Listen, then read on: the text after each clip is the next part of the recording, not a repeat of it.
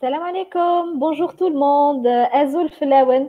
Euh, J'espère que tout le monde va très bien. Euh, je vous remercie encore une fois euh, de nous avoir rejoints à cet atelier Emploitique la Ferrocom qui s'intitule Comment choisir l'offre d'emploi qui, qui nous convient. Donc, bienvenue à, tout, à tous nos participants et j'espère qu'on passera un très très bon moment ensemble. Donc n'hésitez pas à, nous poster euh, vos questions, à partager avec nous vos expériences à travers l'onglet questions et l'onglet euh, chat. Euh, bienvenue encore une fois à vous. Donc, justement, pourquoi avoir choisi cette, cette thématique? En fait, ça va dans la continuité des trois premières thématiques que nous avons abordées. donc, déjà, comment organiser sa recherche d'emploi euh, comment euh, postuler sur, euh, sur Emploatique et comment ça se passe du côté recruteur sur Emploatique. donc, il m'a semblé très pertinent justement d'aborder la question donc, comment choisir l'offre d'emploi qui nous convient? Donc, c'est une, c'est une question qui me revient très, très souvent de la part des chercheurs d'emploi. donc, c'est une question, enfin, c'est quelque chose où les, où les chercheurs d'emploi ont un peu de mal ou bien euh, où ils s'y prennent euh, justement de, de, façon assez, assez légère et euh, donc ne mettent pas du tout toutes les chances de leur côté pour, pour justement décrocher un entretien d'embauche. Or que choisir, bien choisir justement l'offre d'emploi à laquelle nous postulons est, est, une étape très très importante euh, aussi euh, dans, la recherche d'emploi et qui garantit quand même euh, une certaine réussite, un certain aboutissement de notre candidature vis-à-vis -vis du, recruteur. Et c'est ce qui permettra peut-être de retenir son attention par la suite. Donc, je vais partager avec vous cette, cette petite présentation. Je vais partager mon écran avec vous. Et Justement, nous allons voir ensemble euh, toutes, euh, toutes les étapes, justement, euh, par lesquelles nous devons passer pour bien choisir son offre d'emploi. Est-ce que vous arrivez à voir le diapo? En fait, je n'arrive pas à voir ni vos questions ni, ni vos réactions. Emina Kacha, très bien. Parfait. Est-ce que les, pour les autres participants, est-ce que c'est bon Vous arrivez à voir? Très bien, très très bien, très très bien. Alors, première des choses, euh, on va voir ensemble tous les points qu'on va, aborder. Donc, première des choses, il est impératif de revenir sur comment préparer sa recherche d'emploi. Donc, on va revenir un petit peu sur l'objectif de carrière. La connaissance des métiers et le bilan de compétences, on va détailler ça euh, un peu plus tard. Deuxième des choses, analyser les offres d'emploi, donc choisir les canaux, décrypter l'offre et se documenter. Et en dernier lieu, quelles sont les erreurs à éviter pour, euh, pour justement bien cibler les, les offres d'emploi ou bien quelles sont les erreurs les plus courantes euh, justement dans lesquelles les chercheurs d'emploi tombent et euh, qui, euh, qui leur valent euh, en fait beaucoup de préjudice par la suite. Donc, euh, on va commencer euh, par, je commence toujours par mes ateliers par cette citation, Find the job is a job. Donc en fait, quand on est à la recherche d'un emploi, il faut se dire que c'est une opération qui ne se fait pas à la légère. Donc c'est une opération en fait qui doit nous prendre du temps, qui doit nous prendre beaucoup de préparation, euh, pour euh, en fait espérer avoir un bon retour euh, par la suite. Donc, on doit semer correctement pour pouvoir récolter de bonnes choses par la suite. Et nous récoltons quoi? Nous récoltons des contacts des entreprises et nous récoltons aussi, pourquoi pas, des entretiens, pourquoi pas des embauches.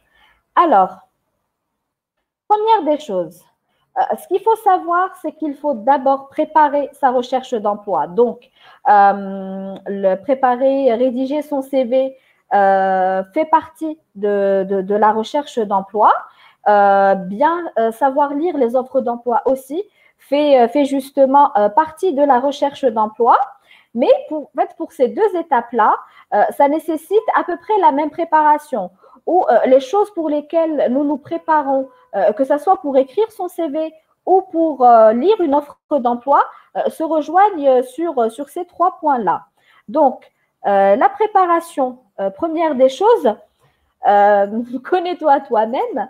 Donc, il faut, il faut se connaître. Euh, donc, première des choses, euh, donc, il faut faire justement, il, faut, il faut rester avec soi et se dire, très bien, j'ai fini, j'ai fini mes études, ou là, je suis en plein cursus, ou là.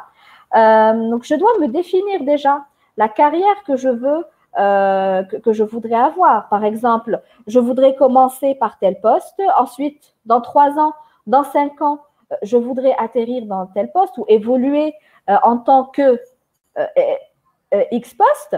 Et donc là, justement, l'objectif de carrière se travaille déjà. Au moment où vous commencez à, étudier et où euh, vous allez choisir votre spécialité d'études. Euh, donc moi, ce que je vous conseille de faire et ce qui va vraiment vous aider dans votre recherche d'emploi, c'est de définir votre objectif de carrière et carrément faire un plan de carrière. Donc, euh, vous mettez en fait les métiers et les paliers d'évolution à travers lesquels vous souhaiteriez évoluer. Euh, ensuite, euh, moi, ce que, euh, moi, ce que je vous invite à faire aussi, c'est de faire une sorte, une sorte de petit bilan. le bilan de, de, vos compétences, donc c'est-à-dire quelles sont les compétences que vous, les compétences et les connaissances que vous avez acquises lors, de votre, lors de votre cursus ou lors de vos premières expériences professionnelles dans le cas où euh, vous, êtes, euh, vous êtes déjà en poste. Et euh, donc faire le bilan de vos compétences et vos connaissances, voir ce que nécessitent les métiers que vous visez comme compétences et comme, comme exigences aussi, et en fait, en fait définir les moyens qu'il vous faudra par la suite pour parfaire votre formation, pour parfaire vos connaissances, et enfin, atteindre euh, chacun euh, euh, des, objectifs définis lors de votre plan de carrière, justement. Donc, bien se connaître, c'est bien connaître ses compétences, bien aussi faire justement un objectif de carrière et c'est surtout bien cibler par la suite les métiers que nous aimons, euh, ou dans lesquels nous aimerions évoluer et bien cibler de ce fait les, euh, les offres d'emploi. Donc, euh, deuxième des choses, la préparation TACOM. Donc, on a dit qu'on doit faire justement notre bilan de compétences, faire notre, notre objectif, notre plan de carrière et faire un comparatif de, des moyens en fait qu'il nous faut pour atteindre ces objectifs. Euh, deuxième des choses qu'il nous faut faire en phase de préparation, c'est connaître les métiers que nous visons. Et donc, comment connaître, euh, connaître ces métiers-là? Donc, euh, déjà, prendre le, essayer de trouver sur Internet des fiches métiers ou ce qu'on appelle chez nous des fiches de poste qui, regroupent les tâches principales des métiers que, que, vous visez. Et à travers justement cette, euh, cette fiche de poste ou cette fiche métier, euh, vous pouvez aussi comparer ce que vous avez ou ce que vous savez faire avec ce que requiert justement cette, euh, fonction. Et donc, ça va vous aider à, à évoluer. Aussi, ce qu'il faut se dire, c'est que un métier en question peut être très variable. Vu, il peut être variable selon le secteur d'activité de l'entreprise. Il peut être variable selon la taille de l'entreprise. Il peut être euh, euh, variable selon l'activité de, l'entreprise. Donc, euh, en fait, il faut connaître toutes, les nuances qu'il peut y avoir des métiers que, vous visez. Et donc, vous pourrez justement vous adapter éventuellement à toutes, à toutes ces facettes. Ce qu'il faut se dire, c'est que la polyvalence est une, est, une, est une compétence qui est très recherchée. Donc, être polyvalent dans votre métier euh, sur plusieurs aspects euh, restera, euh, je pense, je pense un, un, atout pour vous. donc, connaître les spécificités justement du poste dans, chacune de ces facettes vous, vous vaudra justement un point en plus lors de, votre, de votre candidature. Troisième des choses, sur la partie préparation, quand on dit objectif de carrière, donc on dit viser des métiers et viser aussi des entreprises éventuellement. Donc, on, est tous, on a tous envie de travailler peut-être dans telle ou telle entreprise parce que telle ou telle chose nous plaît dans cette, euh, dans cette entreprise. Donc, euh, bien connaître les secteurs des entreprises qu'on vise et bien connaître en général l'activité de l'entreprise, ses concurrents, euh, son, son, activité, son chiffre d'affaires, ses produits, ses, avoir une, image euh, générale de, des entreprises qu'on vise va en fait nous faciliter la tâche pour euh, deux choses. Ça va nous faciliter la tâche déjà pour, euh, pour bien cibler, cette, pour choisir les canaux pour cibler ces, entreprises déjà. Et ça va nous faciliter la tâche dans la rédaction de la lettre de motivation et aussi dans, euh, dans justement euh, la préparation à l'entretien d'embauche aussi. Euh, donc, connaître, la première des, des, questions que nous posera éventuellement l'entreprise en entretien d'embauche ou bien en, en entretien téléphonique, c'est qu'est-ce que vous savez de notre entreprise ou bien pourquoi avoir postulé à un emploi dans notre entreprise? Donc, justement, cette phase de préparation, comme la, phase de préparation et la phase de recherche, justement, euh, des informations sur l'entreprise, euh, justement, là, la préparation, tu as, l'entretien d'embauche et même aussi, tu as, euh, la candidature. Donc, jusque-là, est-ce que, est que tout est clair? Est-ce qu'on a des questions? Alors là, je vois déjà une, une question. Ah non, c'est juste un commentaire de Mariam Bouamra. Est-ce qu'on a des questions pour le moment ou est-ce que je peux poursuivre?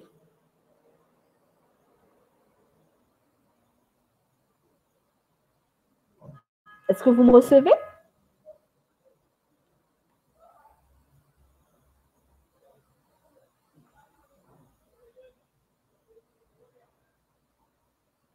Alors, Amina me dit oui, c'est clair. Euh, Chers participants, est-ce que vous pouvez juste, me faire signe, voir, euh, euh, euh, si c'est clair? Et si vous avez des questions, je peux, prendre quelques questions entre-temps, ou si vous souhaiteriez qu'on laisse à la fin de mon intervention.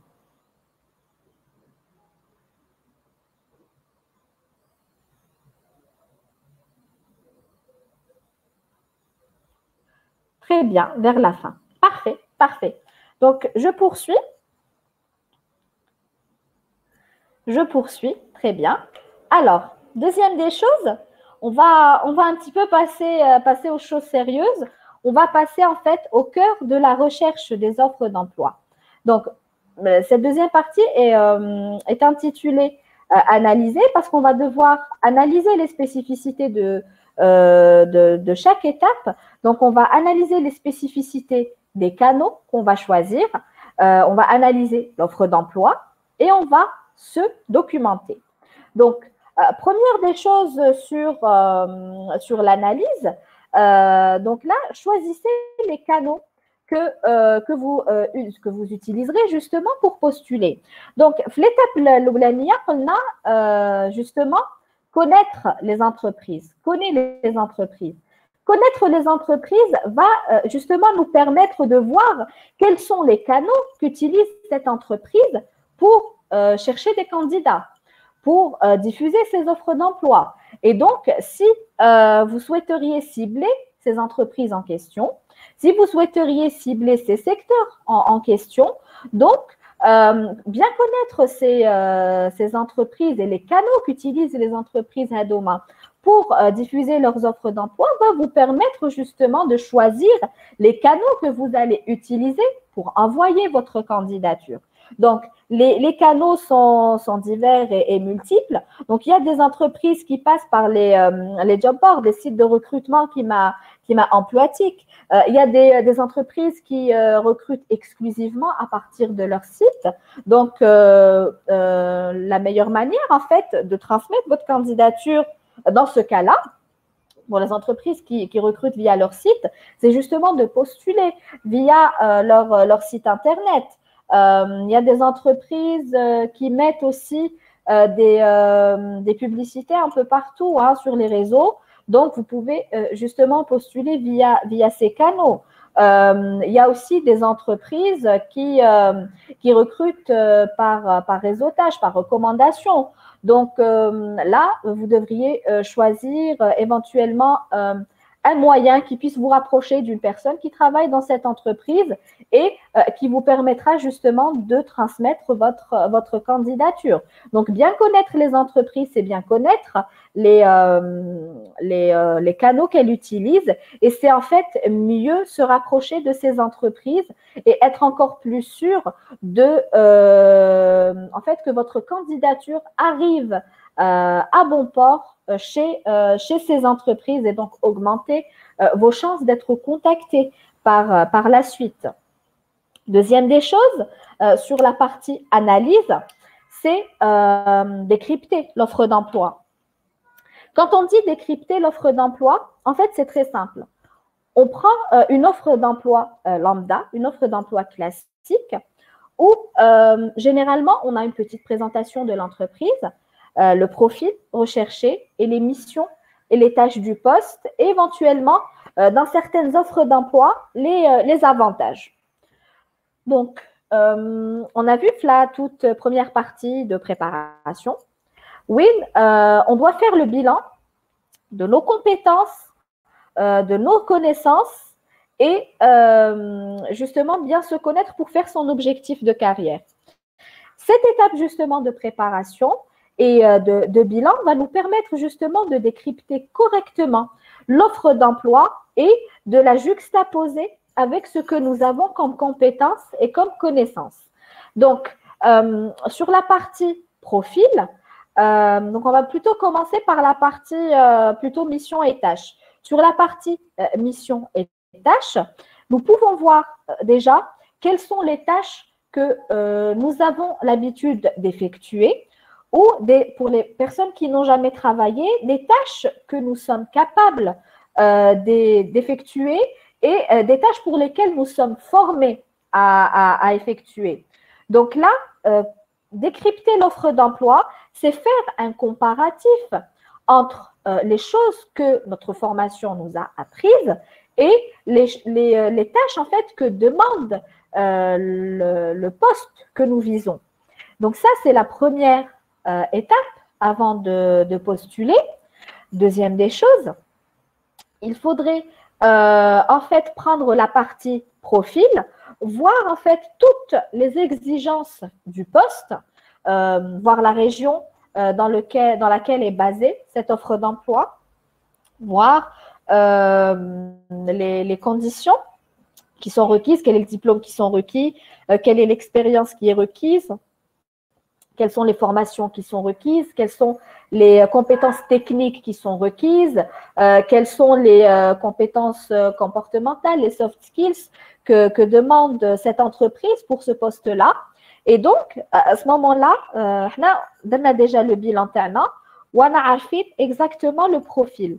Donc, une fois qu'on a décrypté de cette manière-là l'offre d'emploi, on peut justement la en fait, نطبقوها على واش واش عندنا comme comme comme compétence et comme profil ونقدروا نعرفوا déjà avant de postuler est-ce que euh, notre profil correspond ou pas à cette à cette offre d'emploi Et euh, bon, euh, quand même, je, je postule. Euh, il y a des entreprises qui gardent les, euh, les, les, candidatures quand même pour les contacter par la suite. Mais ça, qu'il y a des entreprises aussi qui, et ce qui arrive la plupart du temps, c'est que les entreprises ont des offres d'emploi ponctuelles. C'est-à-dire que Kéram une offre d'emploi, par exemple, pour comptable, c'est qu'ils ont besoin d'un comptable et qu'ils n'ont besoin de recevoir que des, des candidatures pour ce poste-là. Donc, euh, c'est à vous de voir si, euh, vous souhaitez postuler pour, euh, pour cette offre-là.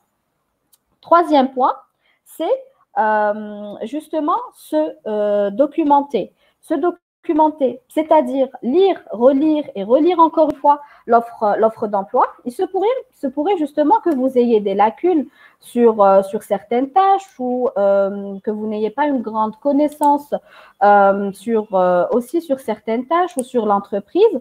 Donc, se documenter va vous aider énormément justement à, combler ces petits manques euh, ça peut euh, justement vous aider. Il y a peut-être une compétence que vous pourrez euh, justement acquérir en suivant uniquement un petit webinaire ou en suivant une formation en ligne ou en allant vous documenter sur, sur justement l'un des différents canaux que nous avons actuellement pour, pour, pour se documenter. Et donc, pouvoir vous documenter pourrait augmenter en fait vos chances d'être euh, d'être justement euh, contacté et euh, ça pourrait justement augmenter aussi vos compétences d'une certaine manière. Alors, dernière, dernière chose à aborder justement sur la partie recherche, recherche d'emploi et surtout sur la partie décrypter l'offre d'emploi qui, qui, nous convient. Euh, donc, il y a certaines, certaines erreurs qui sont, euh, qui sont, disons, répandues quand on, quand on postule, là, quand on est euh, à la recherche d'une offre d'emploi. Donc, première des choses qui est très, très, très, très répandue, c'est de parcourir les, les, les, annonces de façon passive et attendre d'en voir une qui, qui, saute aux yeux ou là de voir par exemple une entreprise prestigieuse ou là euh, d'envoyer euh, euh, les, les, candidatures TANA à, à tout. Donc, c'est des erreurs qui, qui, sont, qui sont faites très, très fréquemment quand, quand on postule, justement, que ce soit sur, sur Internet ou quand on postule via, via d'autres moyens. Donc, deuxième, deuxième des choses qui, qui arrivent, justement, c'est euh, de négliger euh, les, offres d'emploi qui donnent peu d'informations. On se dit oui, euh, il y a trop peu d'informations, je, ne je ne peux pas postuler.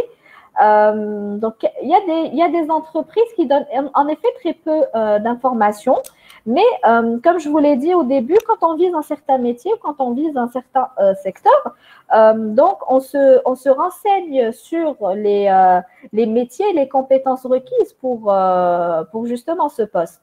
Et donc là, on est déjà informé, on a déjà une petite banque d'informations. Et si vous trouvez sur l'annonce uniquement le nom de l'entreprise, moi, je vous invite à faire des recherches sur, euh, sur l'entreprise. Euh, donc, ça va vous prendre un petit peu de temps, mais euh, en fait, vous pourrez passer à côté d'une opportunité si vous ne faites pas cette, cette, cette recherche.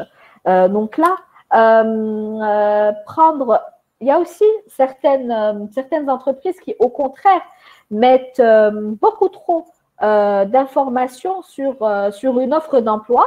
Et donc, on a tendance, nous, candidats, à prendre aussi vraiment à la lettre toutes les exigences euh, en matière de qualification ou, d'expérience.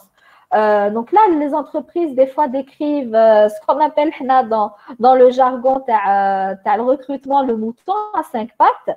Et, et des fois, on se dit qu'il est impossible, humainement parlant, de réunir toutes ces conditions fait Abdouahed. Donc, euh, moi, je vous, euh, invite justement, euh, après avoir lu l'offre d'emploi, à vous baser sur les qualifications les plus importantes que, requiert le poste et que demande l'entreprise sur certaines autres qualifications il se pourrait que vous puissiez apprendre par la suite, apprendre sur le tas, apprendre avec, euh, avec l'expérience. Euh, donc, il y a certaines offres, effectivement, qui, contrairement aux autres qui ne donnent pas assez d'informations, qu'il y a certaines offres d'emploi, il est tellement tellement euh, d'informations, tellement on veut bien faire. Donc, on postule, justement, on lit mot à mot l'offre d'emploi et on essaye de voir vraiment si on a toutes les exigences ou qu'il chauffe toutes les exigences, donc on passe à côté.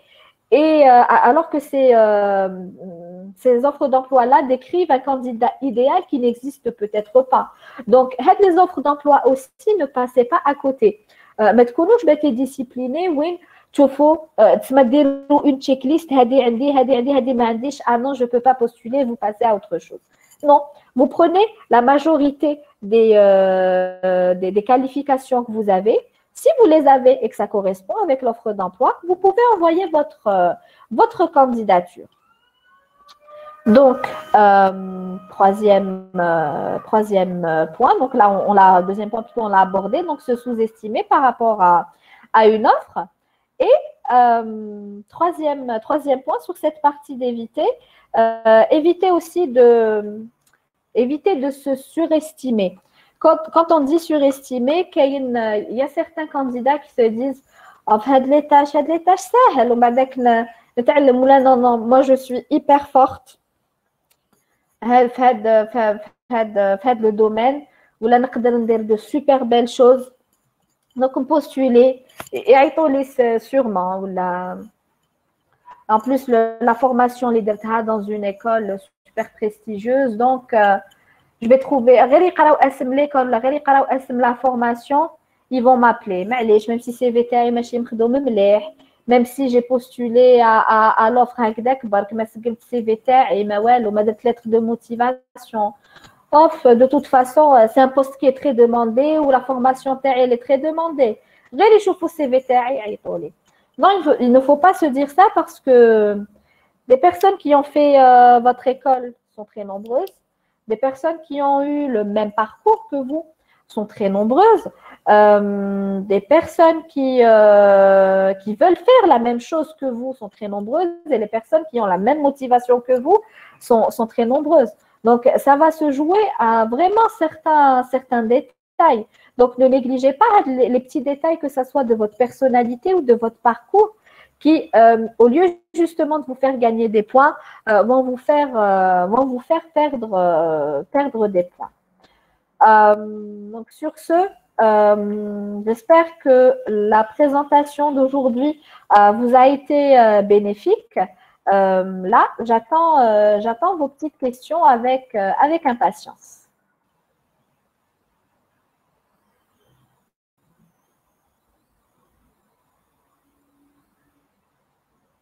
Alors, Emina Kacha nous demande euh, s'il nous manque une ou deux conditions pour le poste, peut-on postuler euh, même et peut-être détailler notre intérêt et nos objectifs dans la lettre de motivation? Euh, Oui, Amina, il se pourrait qu'on postule à condition que ça ne soit pas des, des critères, disons, éliminatoires. donc, je, vous déconseille de postuler à une offre d'emploi qui est sur une zone géographique qui n'est pas la vôtre, euh, ou euh, de postuler à une offre d'emploi où euh, l'expérience que vous avez est beaucoup trop loin, en plus ou en moins, de, de l'expérience demandée par, par cette entreprise. Donc, ça dépend des critères, en fait. Si vous voyez que c'est des choses que vous pouvez acquérir ou bien que vous pouvez développer, vous pouvez justement stipuler ça dans votre lettre de motivation et même euh, justement sur votre CV, euh, vous avez une partie où, euh, description où vous pouvez justement mettre en avant votre motivation par rapport à ce poste et essayer un petit peu de, véhiculer le fait que vous, êtes prête à faire des efforts pour, pour apprendre et pour acquérir ces choses-là, ces compétences-là que vous n'avez pas et qui sont exigées par, par l'entreprise. J'espère avoir été euh, claire, euh, Emina. Euh, si, si on ne maîtrise pas une compétence, peut-on avoir une opportunité près du recruteur? L'objectif est d'apprendre après, après l'embauche. En fait, ça dépend de, ça dépend de la compétence. Je les, il y a certaines compétences qui qu'on peut apprendre. Vous pouvez faire une, une petite formation.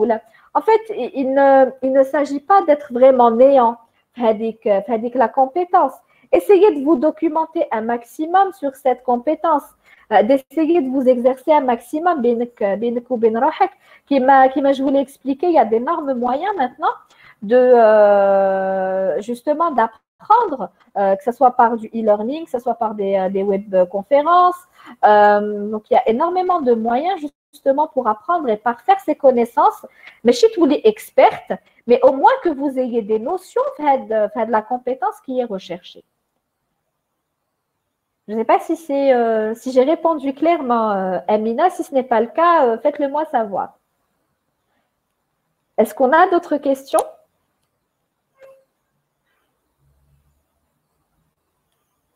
Alors, est-ce correct de postuler plus d'une fois, sachant qu'il ne m'a pas appelé la première fois pour, pour un entretien? C'est une très très bonne question, Walid. Alors, là déjà, euh, l'entreprise qui ne vous a pas contacté euh, une, première fois. Donc là, on peut se dire, elle ne nous a pas contacté. On peut commencer à se dire ça après un mois la parution de, l'annonce et après un mois de, euh, notre candidature. Donc, moi, ce que je vous invite à faire, Walid, c'est justement de refaire le, de faire un petit bilan de votre candidature. CV est-ce que le CV a été rédigé correctement? Est-ce que les informations ont été mises en avant euh, correctement? Est-ce que vous avez postulé euh, à une offre d'emploi qui vous correspond? Est-ce que vous avez aussi un contact avec l'entreprise Donc là déjà, avant de passer au contact à l'entreprise, là vous avez des éléments d'analyse pour voir. Donc on se dit que Belek, vous avez fait euh, peut-être une erreur ou là vous avez un peu mal fait au moment de la candidature et donc ça pourrait être une raison pour laquelle le recruteur ne vous a pas contacté. Donc, que la candidature Donc, le, le CV la candidature tout dépend comment vous avez postulé, soit via Emploatique, soit euh, si vous avez postulé euh, via l'adresse mail de l'entreprise, عاود شوف le mail اللي بعثته le titre تاع la pièce jointe le titre تاع le CV le mail تاعك كيفاش كان كيفاش كان مكتوب donc faites هاد la petite analyse très objectivement وشوف si vous voyez qu'il y a eu des, des lacunes de votre côté moi je vous invite à, à réarranger euh, tout, tout cela et à repostuler une, une deuxième fois si l'entreprise a remis euh, l'offre, euh, l'offre d'emploi en ligne ou là, euh, il y a eu une demande pour, ce poste-là. Sinon, si vous avez fait les étapes correctement et que vous avez le nom de l'entreprise, moi, je vous invite à chercher sur, sur les réseaux une personne qui travaille de l'entreprise, les ressources humaines. Vous lui exposez votre cas. Bonjour, j'ai postulé à l'offre euh, par exemple, pour euh, le, profil de commercial, euh, je n'ai pas eu de retour de votre part. Je ne sais pas ce qui s'est passé. Est-ce que on a, est-ce que vous avez la possibilité de me faire un, retour à ce propos et de savoir pourquoi ma candidature a été refusée? Les, les, entreprises répondent très favorablement sur, sur les réseaux le genre de requête. Et pour vous, en tant que candidat, ça, traduit une motivation, euh, ça traduit une envie euh, de rejoindre cette, euh, cette entreprise et à rejoindre ce poste. Donc, ça peut jouer en votre, en votre faveur. Est-ce que j'ai été claire, Walid? Super, merci beaucoup. Est-ce qu'on a d'autres questions?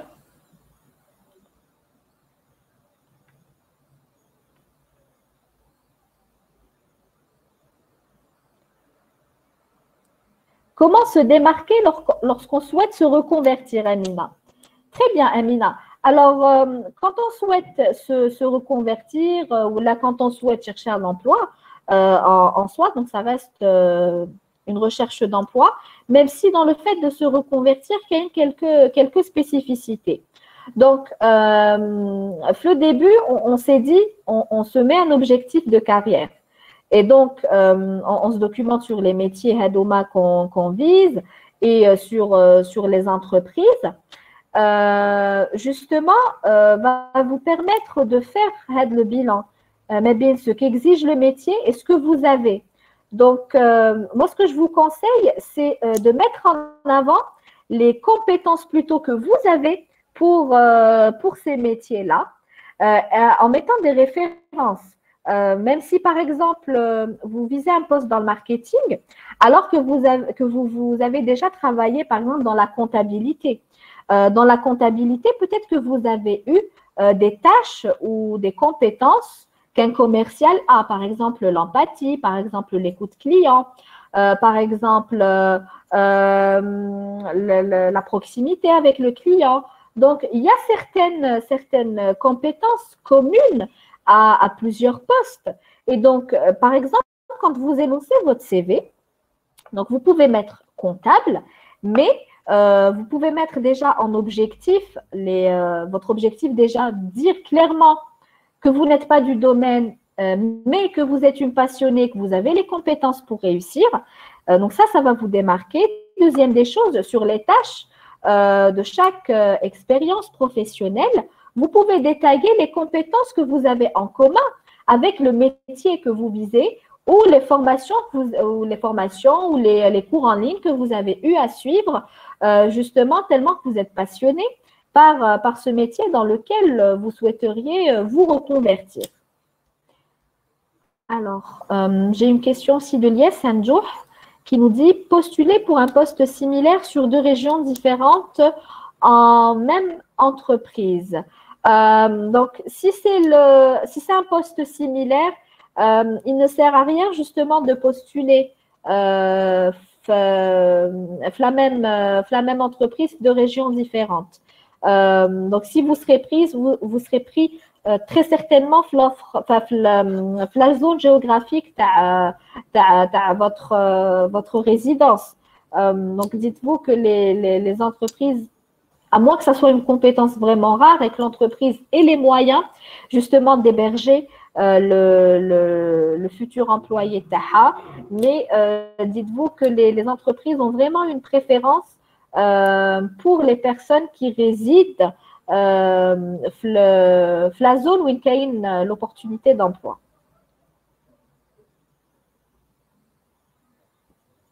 Donc, est-ce qu'on a d'autres euh, questions? Je ne sais pas si c'est clair pour vous, hein, euh, Lies.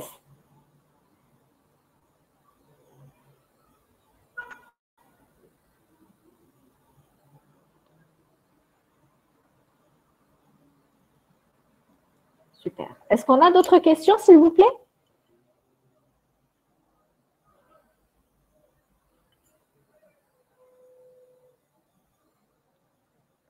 Oui, Mariam, à votre écoute.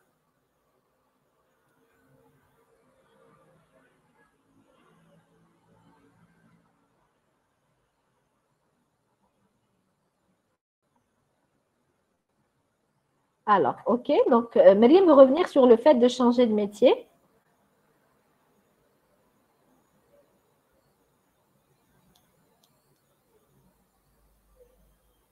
Comment procéder? D'accord. Alors, euh, comme je l'ai expliqué, euh, comme je l'ai expliqué tout à l'heure, euh, en fait, changer de métier, c'est comme chercher un nouveau job. Donc, euh, passer par, euh, euh, par, les étapes, par les étapes précédentes. Hein. donc, préparer sa recherche d'emploi, donc définir son, son, objectif de carrière, les connaissances du métier qu'on voudrait justement intégrer et faire un bilan de compétences. Qu'est-ce que vous avez comme compétences ou quelles sont les compétences que vous êtes aptes à, à développer euh, c'est-à-dire avec un travail sur vous-même, et quelles sont euh, justement les compétences qui sont recherchées par, euh, le métier que, vous visez. Et, avec ça, comme, justement je l'ai expliqué à, Amina, il suffirait surtout de mettre sur votre objectif déjà, sur votre CV, de mettre votre objectif de changement de carrière et d'expliquer en une ou deux phrases votre passion pour le métier que vous souhaiteriez euh, intégrer.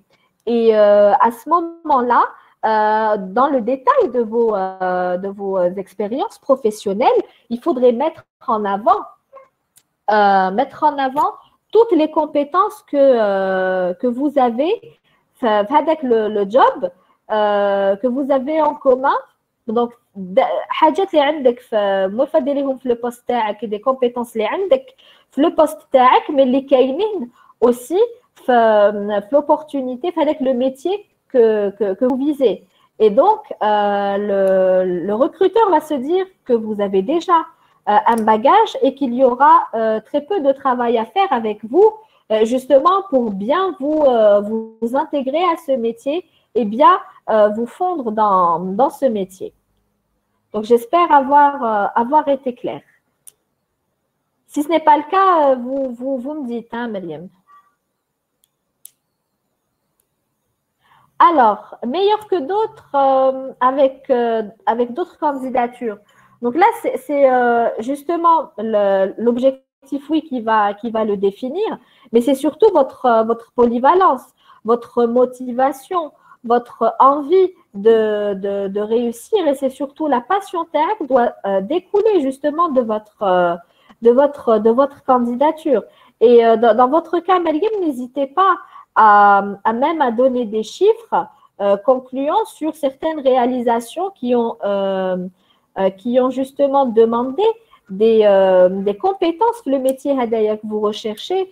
Et donc, le fait de parler avec des, des, euh, faits, de parler avec des chiffres, euh, va vous positionner encore mieux fait le poste comparé à, à, une autre candidature. La difficulté, justement, va résider dans le fait de, euh, de justifier votre, de justifier votre expérience professionnelle surtout les, les sites de recrutement. Parce que la plupart des sites, des sites de recrutement, l'expérience professionnelle demandée, euh, il y a plutôt vers des postes de junior, le, le nouveau métier, où euh, le, le, fait d'avoir une expérience professionnelle, mais le peut vous porter euh, préjudice. Donc, ce que je vous invite à faire, c'est de, de, rédiger un CV spécialement, euh, justement, pour, euh, pour attirer le recruteur et justement euh, mettre en avant les compétences de le métier et donc l'inciter à vous contacter pour, euh, pour passer euh, un entretien. Donc là, nous arrivons justement à, à la fin de, de, notre, de notre petite séance. J'espère vous revoir très très rapidement. Euh, pour d'autres thématiques, euh, sur, euh, que ce soit pour les ateliers la FEPOCOM ou pour les webinaires conseil carrière. restez branchés sur, sur nos réseaux Facebook, LinkedIn et Instagram. sinon, n'hésitez pas à, nous contacter directement au bureau si vous avez besoin de quoi que ce soit. Emploitique est là à votre, à votre service. Si vous avez d'autres questions, n'hésitez pas à les mettre aussi sur le chat. J'y répondrai un peu plus tard. Merci à vous de votre participation et je vous dis à très très bientôt. Salam.